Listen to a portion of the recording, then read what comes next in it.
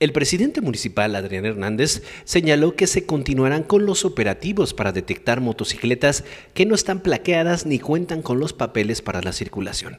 Esto debido a la gran cantidad de delitos que se cometen usando como medio de transporte este tipo de unidades, llegando a ser de hasta un 80% de los casos. Hay una serie de eh, quejas en comunidades y en colonias sobre las motos que se están recogiendo pero también quiero compartir con ustedes que el 80% del tema de inseguridad, de asaltos, de balaceras, eh, estadísticamente a nivel nacional y específicamente en Guanajuato, ocurre con estas motos no plaqueadas, con estas motos que no traen eh, tarjeta de circulación ni registro alguno.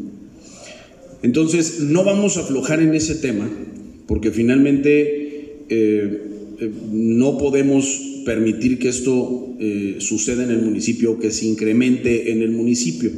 De la misma forma, exhortó a los ciudadanos que cuentan con motocicletas a llevar sus registros en orden.